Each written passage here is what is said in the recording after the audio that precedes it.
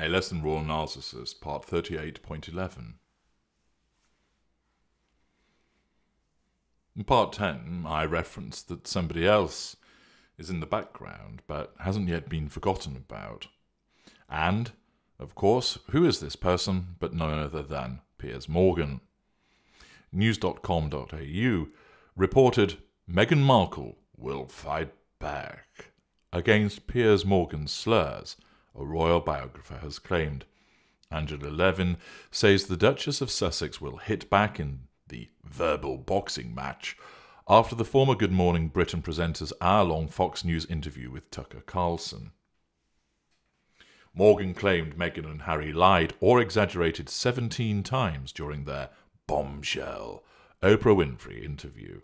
He insisted he was right not to believe the Duchess of Sussex in her Oprah interview alleging that 17 of her claims in the chat have proved incorrect. This, of course, is an assertion of control.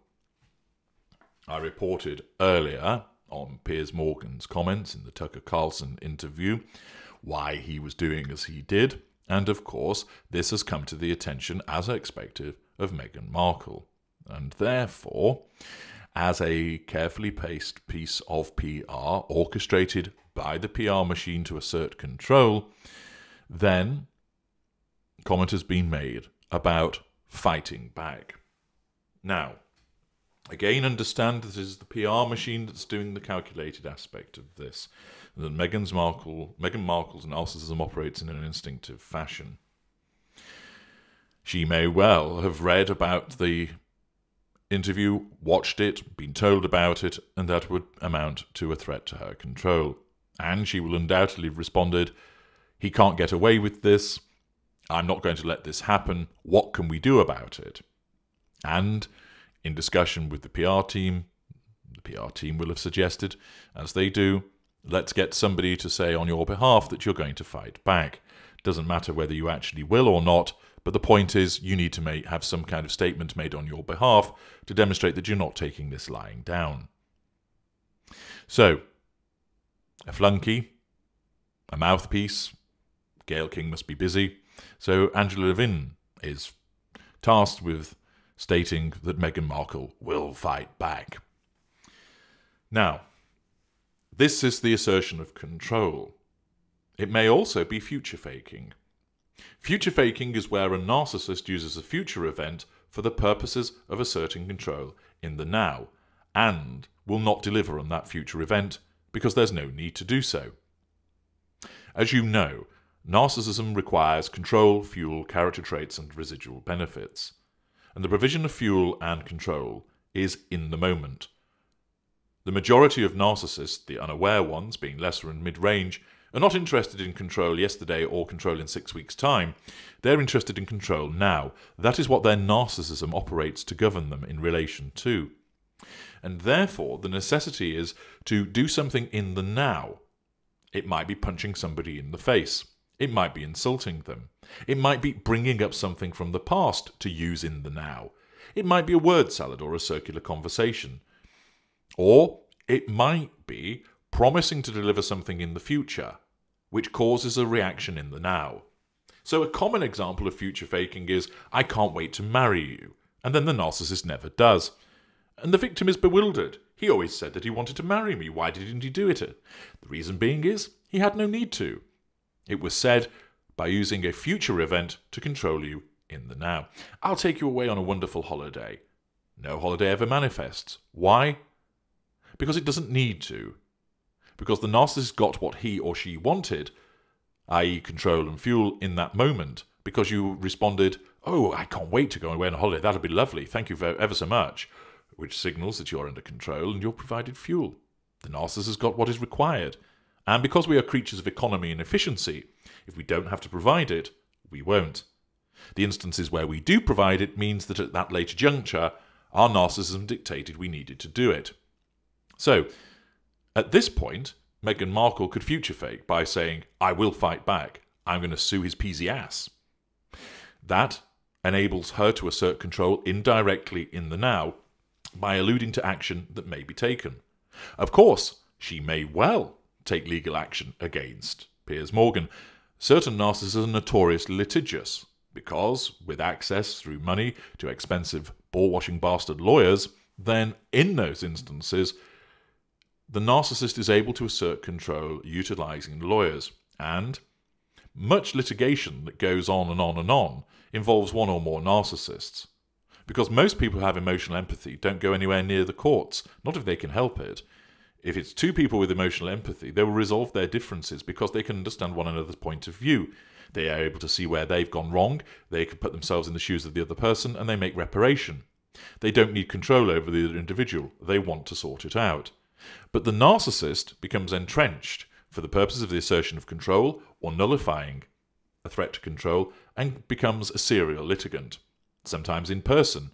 And they are often seen as vexatious litigants who are lunatics, eccentric, but actually you're dealing with a narcissist, the individual who keeps bringing claim after claim after claim, can't afford lawyers, acts on their behalf, clogs up the legal system, launches unmeritorious appeals over and over again.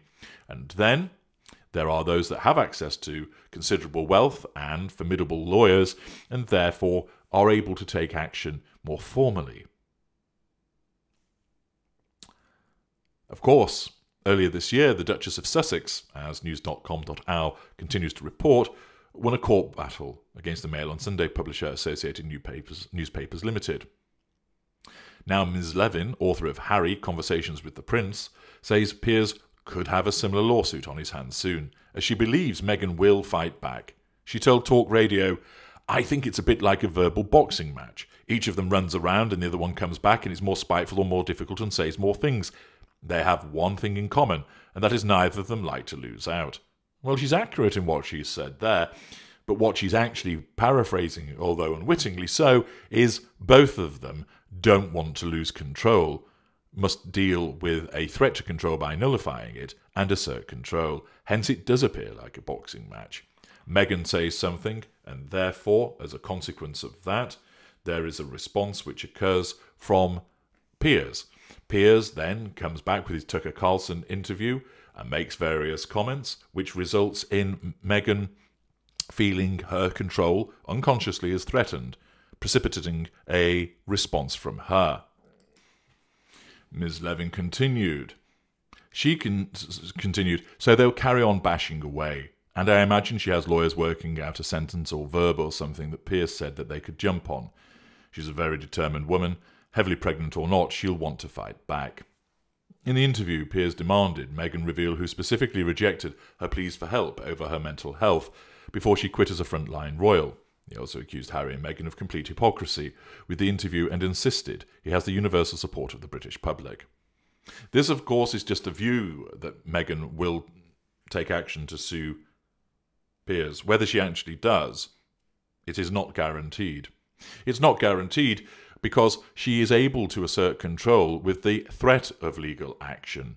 Of course, if this comes across Piers Morgan's bows, this will threaten his control and he'll have to respond, probably by saying, Bring it on if you dare, but if you do, I will be asking for disclosure of certain information as part of all of this, which will mean disclosure of information as to the state of knowledge that you had when you said the things that you did.